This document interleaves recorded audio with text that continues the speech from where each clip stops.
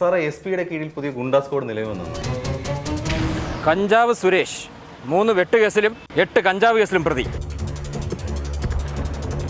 S ഐക്ക് ഒരു പണി ഞാൻ കൊടുക്കും. ഈ സാറാണോ കുട്ടിയുടെ വള വാങ്ങിയത്?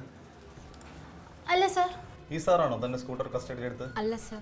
നമ്മുടെ മൂക്കിന്റെ കീഴിൽ ഒരു വ്യാജ എസ് ഐ ഉണ്ടെങ്കിൽ നമ്മൾ അവനെ പൊക്കിയിരിക്കും.